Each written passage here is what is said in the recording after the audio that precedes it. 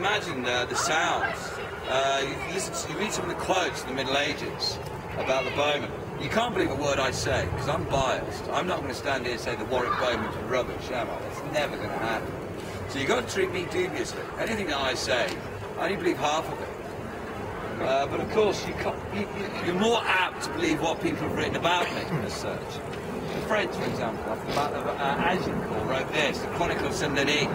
They wrote that um, the shame of the French, for they fled the field, they left the field, leaving their leaders in the thick of the fight. They fled that field as if pursued by tempest and lightning. Describing me, tempest and lightning. Uh, Dominic Mancini, an Italian ambassador, 15th century, the mustering of Agincourt. Or actually, the army fought Southampton going to Harfleur and ending up at Agincourt. So uh, the, the English the English stave seems longer than other nations' staves, and the English longbowman himself seems to have wrists and fingers of iron. Gaston, uh, Gaston Phoebus, the Count of Foix, 14th century. He says, if you want to learn to, if you want to learn to hunt with the bow, you go to England. And there is a way of life.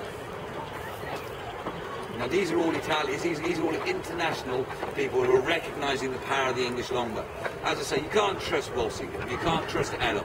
These are chroniclers of the day, and they use each other's phrases. So we've got to be careful of those. But what our enemies have written about, now obviously they're going to aggrandise us because they lost. So it makes their loss seem quite understandable. But even so, you get an idea of the power of the club. The next one hits, you'll cheer, you'll go wild, you'll go crazy. There'll be general merriment and festivities. If there is not, I will shoot someone. Yeah, you don't know which one.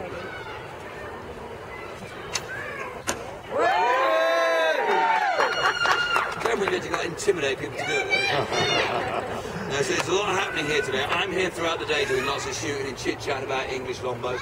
Again, you're more than welcome to, to hang on and watch me continue to shoot. However, I'm going to give people a chance to escape, otherwise I just keep going on. So there's a lot more happening today. We've got the trebuchet on later, we've got the birds of prey, portcullis at 3 o'clock here, various tours inside the castle. So enjoy your day, and I'll see you all later. Farewell.